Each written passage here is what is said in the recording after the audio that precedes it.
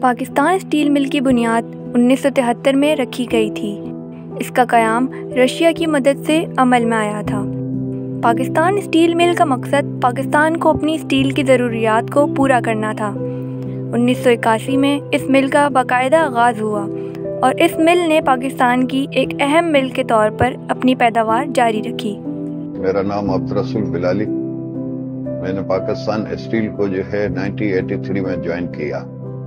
Ninety eighty three میں Pakistan steel تقریباً eighty percent تیار تھی۔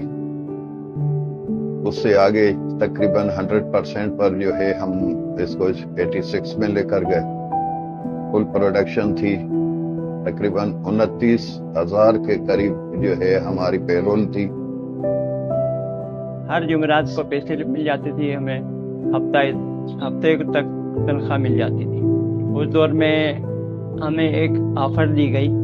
کہ آپ اپنے مکان، مالکانہ حقوق پہ لے سکتے ہیں قسطوں پر۔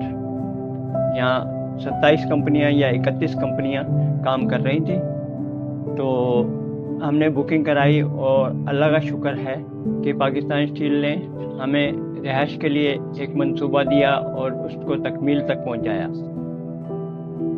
اس کے علاوہ یہاں رائشی منصوبہ، ایک اسٹیل مل کا اسٹیل ٹاؤن کی مد میں کرائے پر رہتے تھے رہائشی وہ ابھی تک رہ رہے ہیں۔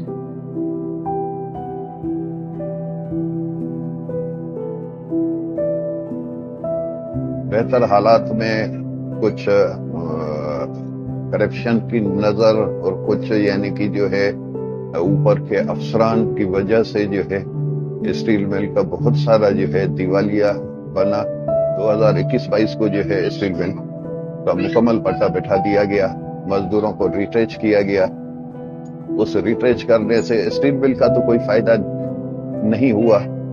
باقی اس کے ساتھ جو ہے اسٹیل مل پوری بیٹھ گئی۔ اس کے اندر چوریاں ہونے لگی۔ اب میں ریٹائر ہو چکا ہوں تقریباً دو ہزار سولہ میں۔ اسٹیل مل بند بھی ہو چکا، لیکن ہم اپنی رہائش پہ معمور ہیں۔ بال بچے پڑھ رہے لکھ رہے ہیں